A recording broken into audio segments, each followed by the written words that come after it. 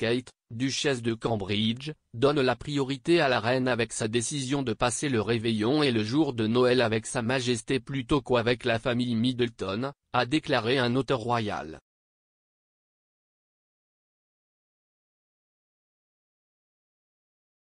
Mis la reine et le devoir avant soi au cours des dernières années en choisissant de passer le réveillon de Noël et le jour de Noël à Sandringham avec sa majesté plutôt que ses parents, selon l'expert royal Cathy Nicole.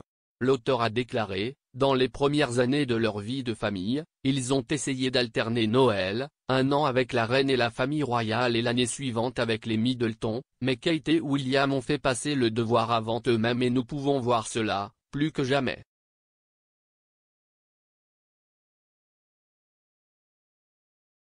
Parler à OK. Magazine, elle a ajouté, donc, il y a un sacrifice de la part de Kate parce que Noël est une très grande chose pour la famille Middleton, mais ils mettent la reine en premier et s'assurent qu'ils sont là la veille de Noël et le jour de Noël à Sandringham.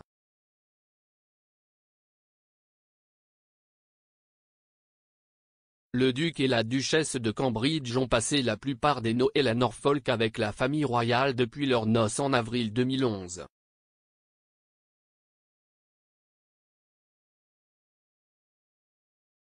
Depuis qu'elle a reçu son titre de duchesse, Kate n'a passé Noël avec les Middleton dans le Berkshire qu'en 2012, alors qu'elle était enceinte de Prince George, et en 2016.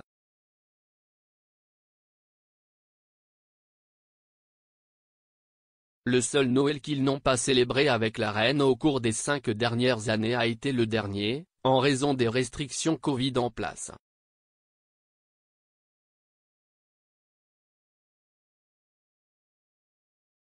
L'année dernière, la reine a annoncé début décembre qu'elle avait décidé de ne pas accueillir sa famille à Sandringham.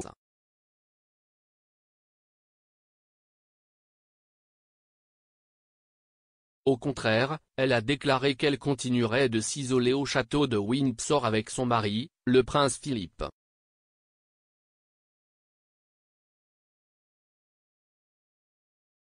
Cette année, cependant, une source a affirmé que Sa Majesté avait informé ses proches qu'elle était impatiente de les accueillir à Sandringham.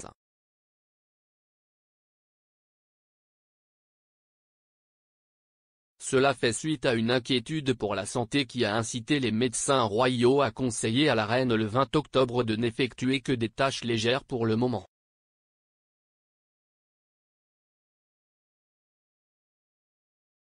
La source a déclaré au Mirror, la reine a dit à tout le monde qu'elle se sentait beaucoup mieux ces derniers temps et a très hâte de les accueillir pour Noël.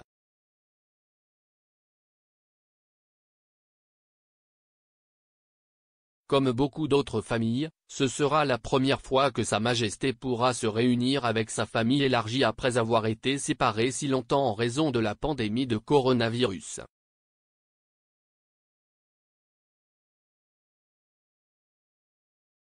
Le Mirror a également rapporté que la reine était déterminée à assister au service du jour de Noël aux côtés de sa famille à l'église Saint-Marie-Magdalène de Norfolk.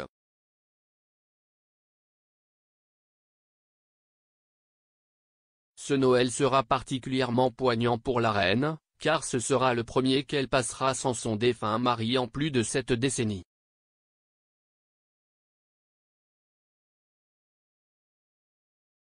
On pense que la période de Noël à Sandringham s'est régie par une série de traditions qui ont été suivies depuis que la famille royale s'y est réunie pour la première fois en 1988.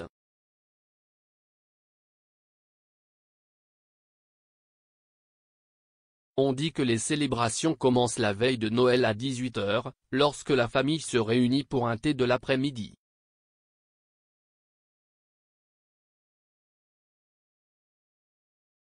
Les membres de la famille royale échangent ensuite leurs cadeaux de Noël, une tradition instaurée par la reine Victoria qui a préféré suivre la coutume allemande d'ouvrir les cadeaux le 24 décembre plutôt que le lendemain.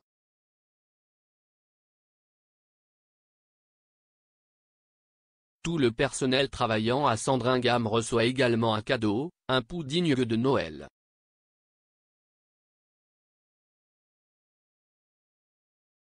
La soirée se termine par la mise au lit des enfants et le dîner en cravate noire des adultes.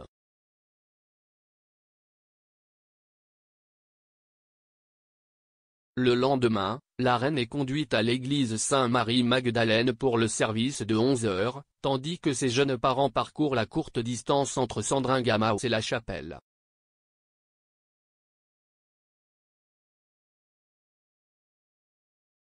À la fin du service, les membres de la famille royale s'arrêtent traditionnellement pour échanger quelques mots avec les fans royaux qui se réunissent chaque année devant la chapelle du XVIe siècle pour les apercevoir.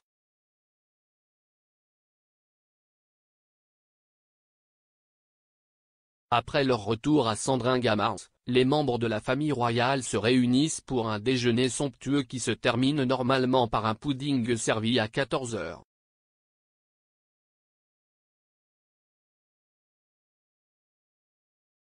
À 15 heures, tout comme des millions d'autres Britanniques, la famille se réunit autour de la télévision pour regarder l'émission de Noël de la Reine, qu'elle enregistre normalement quelques jours avant les vacances.